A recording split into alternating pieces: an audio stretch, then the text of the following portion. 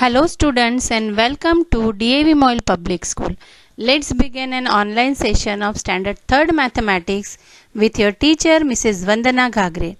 Dear students, in the lesson fractions today we will see the two new terms that is numerators and denominator of a fraction. So let's see what is numerator and what is denominator.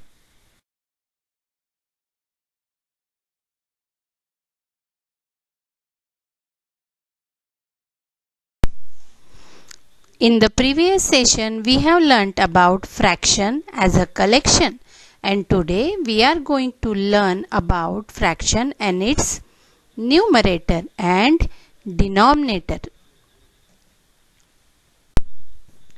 See here, the fraction given is 2 third.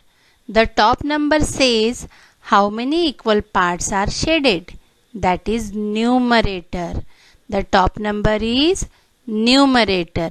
The bottom number says in how many equal parts a figure or collection is divided.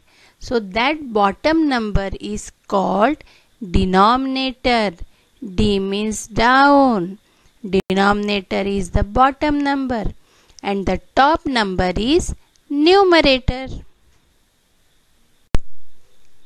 See here one more fraction 5 seventh.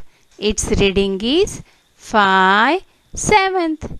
Top number is 5. So it is numerator. Bottom number is 7. So it is denominator. Denominator means down. D down denominator.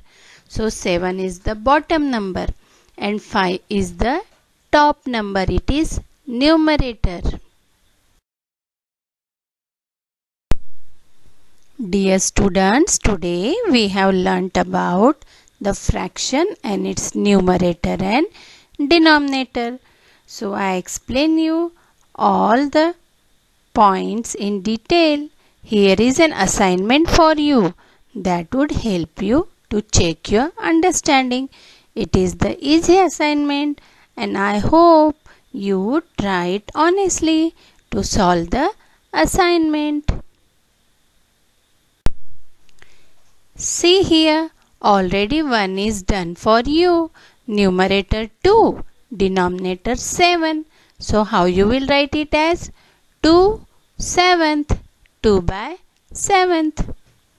The same way you have to solve the remaining one.